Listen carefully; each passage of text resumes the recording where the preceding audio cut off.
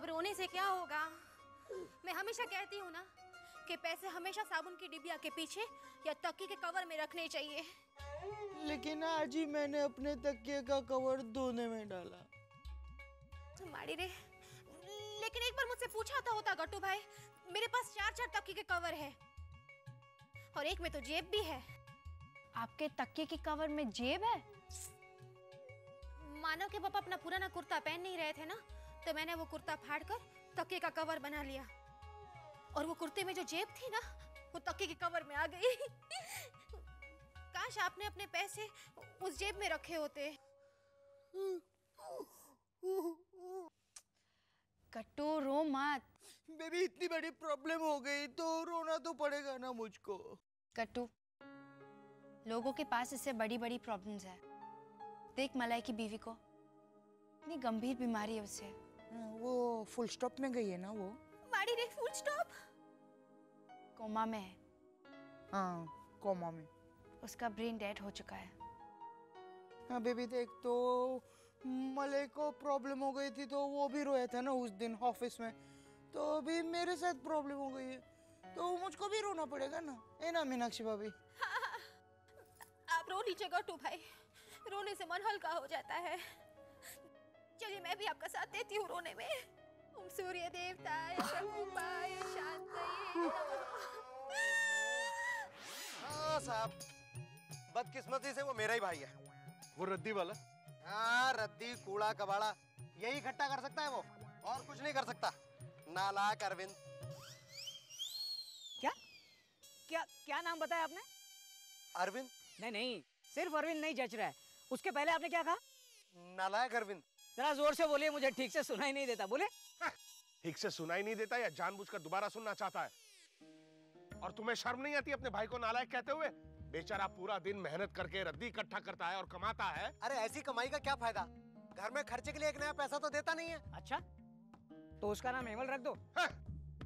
अरे लो वो आ गया।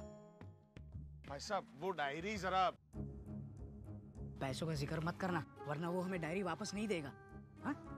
अब भाई साहब हमें वो डायरी वापस चाहिए। तो दिया क्यों था? अब उसमें कुछ ज़रूरी इंफॉर्मेशन है। अब ए, एक काम कीजिए ना ये पचास रुपए रखिए। वैसे भी उस डायरी के आपको कोई पाँच रुपए भी नहीं देगा। ठीक है ठीक है देता हूँ।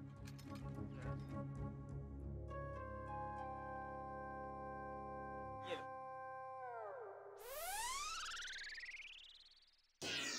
इसमें तो नहीं है। क्या? गट्टू ने इसमें जो दस हज़ार रखे थे वो। अरे कैसे पैसे? अच्छा अब तुम कहोगे कि पैसों के बारे में तो आपको कुछ नहीं मालूम। अरे मुझे पैसे वैसे के बारे में क्या मालूम? और अभी तो आप कह रहे थे कि उसमें इंफॉर्मेशन थी। हाँ लेकिन पैसे भी थे। एक मिनट बाबूजी। आपको क्या लगता है कि पैसे मेरे भाई ने चुराए हैं?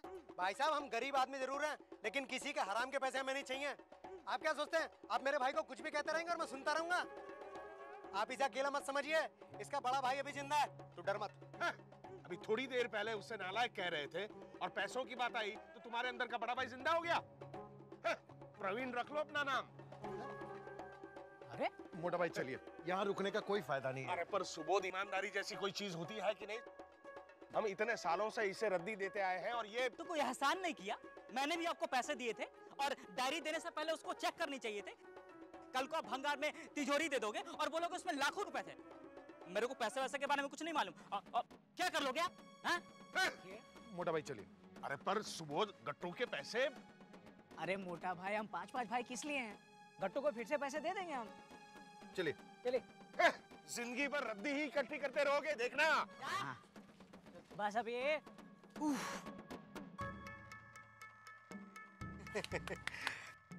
चल ला। क्या ला? फिफ्टी परसेंट पाँच हज़ार रुपए। मुझे मालूम है उनकी डायरी में। अरे आपको क्या लगता है? मैंने उनसे झूठ बोला। हाँ लेकिन अपने बड़े भाई से झूठ मत बोल। चल निकाल। मालूम है तेरे लिए मैंने उनसे झगड़ा किया। और वो मुझसे कभी प्रेस नहीं करेंगे हैं? चल निकाल निकाल। अरे मैं सचमुच कह रहा हूँ मेरे को पैसे के बारे में कुछ भी नहीं मालूम। मैंने डायरी पलटी भी नहीं। आप मेरी तलाशी लो। ले लो। जो है ना। मिल गया? नालायक हमेशा रद्दी उठाएगा वो सही कह रहे थे बिल्कुल। है? गधा कहीं का। अपने बड़े भाई से झूठ बोलता है?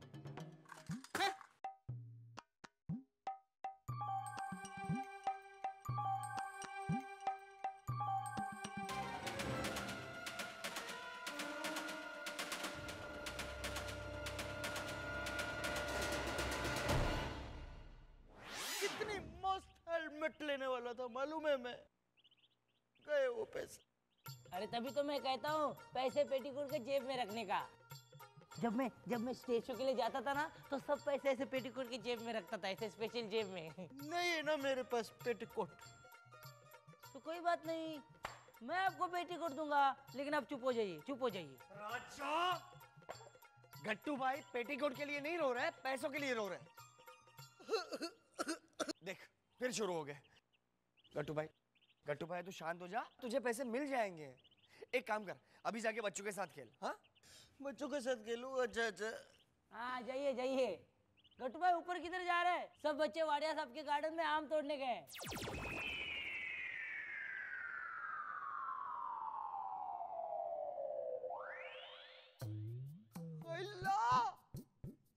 मैंने बोला था चैताली को कि उधर जाओगे ना तो मुझको लेके जाना। तो भी नहीं लेके गए। जबकि उन लोग को मालूम है कि मेरे पैसे खो गए। प्रवीण भाई सही बोलते। पैसे नहीं तो कोई नहीं। जी यार। नहीं नहीं नहीं गट्टू भाई वो लोग कहीं नहीं गए। ऊपर ही होंगे देख। क्या ऊपर ऊपर। इतने बड़े बड़े डंडे लेके गए गट्टू भाई। और मैंने उनको बोला भी है खट्टे आम लाना। आज मस्त पे के अचार बनाऊँगा डिम्पल के पप्पा के लिए। वेरी बैड वेरी बैड मैं छोड़ूँगा नहीं उन लोग को। और वो आम भी ज़रूर लाना ऐसे मोटे मोटे आम। राजा तू चुप रहता तो तेरा क्या चाहता अचार ओम सूर्य देवता प्रकोपाय शांतये नमः। ओम सूर्य देवता प्रकोपाय शांतये नमः। दस हज़ार ने तो परेशान कर दिया। गट्टू के ही जाने थे। अच्छा मैं दे रही हूँ उसे दस हज़ार तो ले नहीं रहा है। ऊपर से राजा उसने एक और आग लगा दी। उसे बता दिया कि बच्चे आम तोड़ने गए हैं और उसे नहीं ले गए। अब वो झगड़ा करने गया है उनके साथ। ये बरनी किसने खुली छोड़ी?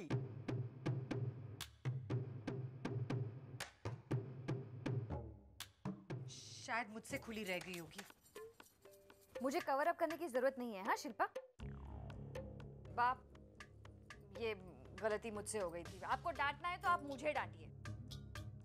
मैं नहीं चाहती कि कोई और कवर अप करके मुझ पर मेहरबानी करे। चलो। पूरे घर में भले ही गट्टू के दस हज़ार का टेंशन हो, कम से कम किचन में तो कुछ अलग हो रहा है। क्यों चल रहा है तुम दोनों के बीच कोल्ड वॉर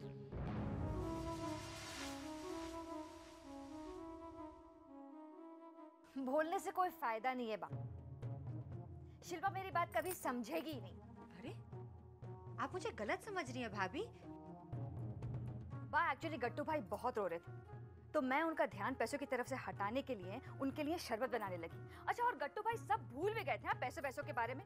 लेकिन शिल्पा ने उन्हें फिर से समझाना शुरू कर दिया कि पैसे यहाँ रखने चाहिए पैसे वहाँ नहीं रखने चाहिए। अरे बाद में भी समझा सकते थे ना? हम्म। आप मुझे बताइए बा। उन्हें उसी वक्त समझाकर इतना रुलाने की क्या ज़रूरत थी? शिल्पा ने सही कहा लीला।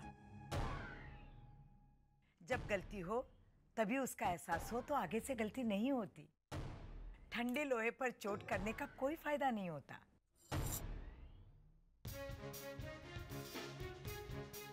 इसमें इतना हंसने की कोई बात नहीं। थोड़ी सी हँसी निकल गई भाभी। लेकिन मेरे हंसने का मकसद वो नहीं है जो आप समझ रही हैं। हाँ आजकल तो मैं हर बात गलत ही समझती हूँ। क्या करूँ? मुझमें तो समझ है ही नहीं। ये बात तो मैं भी मानती हूँ लीला। अब झगड़ा करने की ज़रूरत नहीं है। वैसे भी घर में बहुत तनाव चल रहा है। चलो चलो खाने का टाइम हो रहा है। ये प्रवीणा की कमी मुझे महसूस न हो। उसके लिए इतनी मेहनत कौन कर रहा है? क्या बात? ये दही फ्रिज में से निकाल कर यहाँ किसने छोड़ा है? उसे मत देख लीला। मुझे देख मैंने तुझे सवाल पूछा है। शिल्पा तू बोल। मैंने तो नहीं रखा बा सीधा मेरा नाम क्यों नहीं लेती? इनडायरेक्टली क्यों बोल रही है? आप फिर गलत समझ रही मैं तो सिर्फ़ समझती हूँ हाथ समझिए। ओ माय गॉड क्या हुआ? इसमें इतनी सारी चीटियाँ हैं। मैं तेरा क्या करूँ लीला? भाभी इसमें सचमुच चीटियाँ हैं। बस शिल्पा।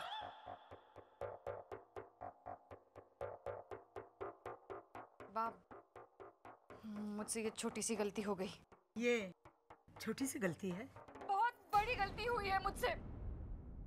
मैं कट्टू भाई के लिए शरबत बनाने के बाद उनका दिल बहला रही थी, इसीलिए भूल गई दही वापस रखना फ्रिज में। वो बहुत रो रहे थे, मुझसे देखा नहीं गया उनका रोना बा मैं क्या करूँ बा मैं हूँ ही इमोशनल।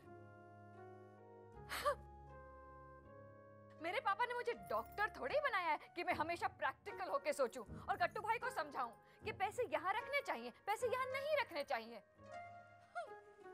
शिल्पा को ताने मारना छोड़। और अरविंद के हाँ हाँ से कैसे बचा जाए इसके बारे में सोच। शिल्पा दही फेंक दे। फेंक क्यों दे बा? इसका फेस पैक बन सकता है। हाँ हाँ दे दे इसे। चलो कुछ तो फ़ायदा हुआ दही बाहर रखने का। ओम सूर्य। चलो।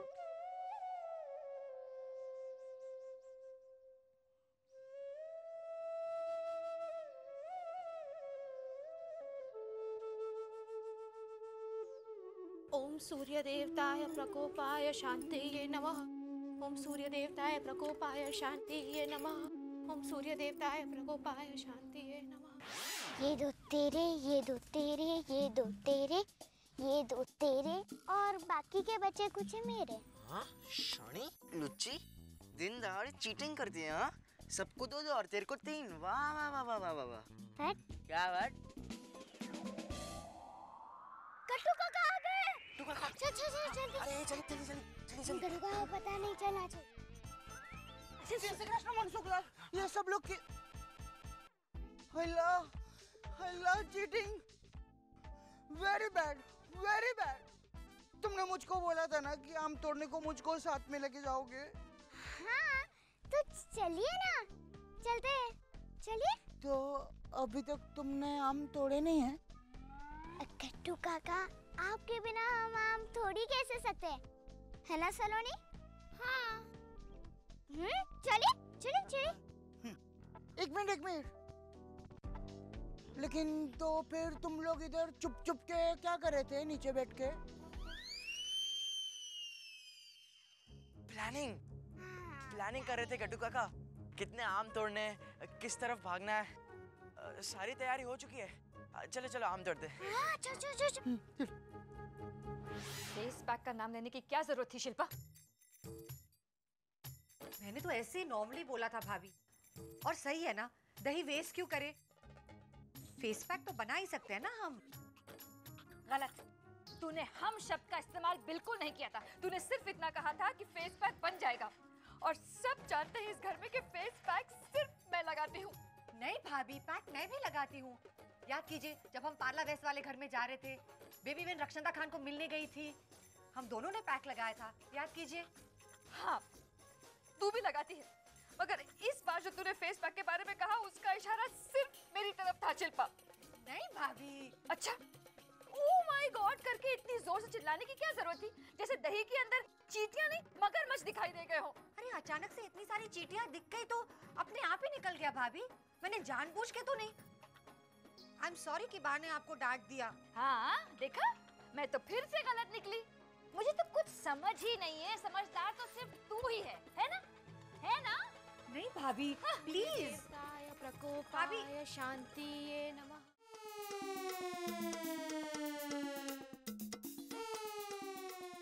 हेलो इसमें तो एक भी आम नहीं है। किधर गए सब आम? कट्टू काका मुझे लगता है किसी ने तोड़ ली है। ओ खोटाई तुम लोग वापस आ गए। चैताली मानो मैं हूँ। रुको मैं अभी आती हूँ। कृष्णा अरे शैतान लोग की टोली मेरे सारे आम तोड़ डाले। अब क्या पत्ते तोड़ने आए हो क्या? हेलो चैतली तुमने आम तोड़ लिए थे? नहीं नहीं कट्टू काका हमने आम नहीं तोड़े। अरे क्या नहीं तोड़े? मैंने देखा ये मेहुल मानव को गधा बनाकर उसके ऊपर चढ़कर आम तोड़ रहा था। हाँ। आंटी मैं गधा नहीं घोड़ा बना था। अरे चुप। जो भी हो लेकिन आम तोड़ रहा था कि नहीं? हाँ? देख उस पोटली में सारे आम दबा के रखे हैं हाँ। कुछ भी मत बोलिए। इसमें हाँ इसमें स्त्री के कपड़े इधर ला इधर ला पोटली मेरे को दे अरे दे इधर। अच्छा हाँ? स्त्री के कपड़े हाँ? तुम लोग ने झूठ बोला ना मेरे साथ में? कि हम नहीं तोड़े ऐसा? नहीं नहीं गट्टू काका। हाँ हमने आम तोड़े थे। मैंने चैताली को कहा भी था कि हम गट्टू काका को आम तोड़ने के लिए लेके जाते हैं पर उसी ने मना कर दिया। चैताली तूने मेरे लिए ना बोला ना? नहीं गट्टू काका। और तुम सब लोग ने हाँ बोला कि हाँ गट्टू काका को नहीं लेके जाने का चलेगा। वेरी बैड मैं अभी तुम लोग के साथ में कभी बात नहीं करूँगा। कभी बात नहीं करने वाला हूँ मैं तुम लोग के साथ में। अरे उसे छाछ नहीं मिलेगी तो वो बहुत अपसेट हो जाएगा अरविंद। उसके लिए कुछ और बना ले। अच्छा सा। शिल्पा कहाँ गई है? पता नहीं बा। कहाँ गई थी? क्या लाई है? नाके पे राम डेयरी है ना बा? वहाँ से दही ले आई हूँ। मोटा भाई के लिए फटाफट छाछ बना देती हूँ।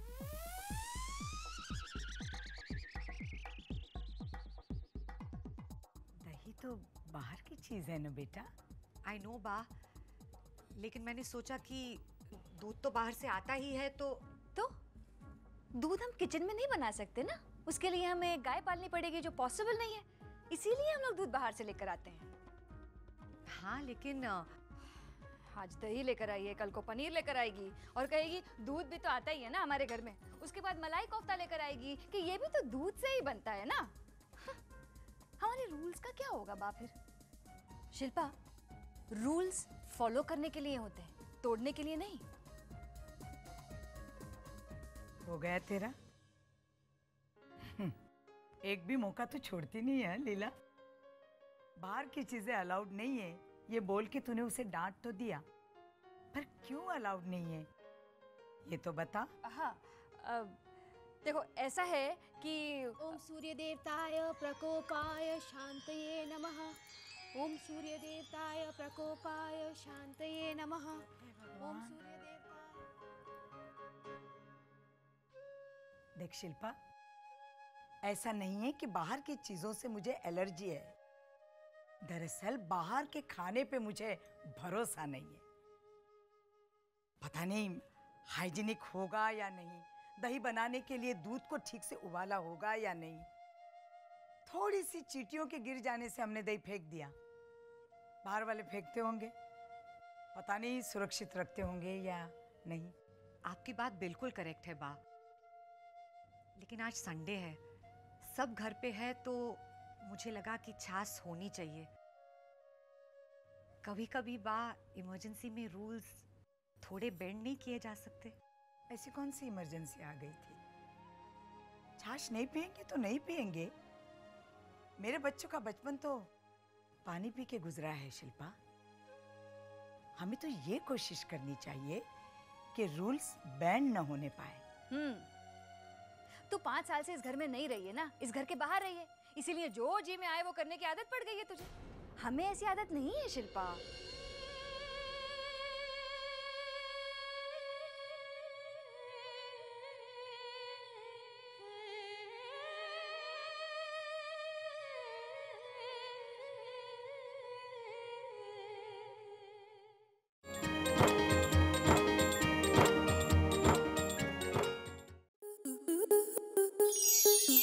स्टार प्लस के ऐसे ही और बेहतरीन लम्हे देखने के लिए सब्सक्राइब करें हमारे यूट्यूब चैनल को।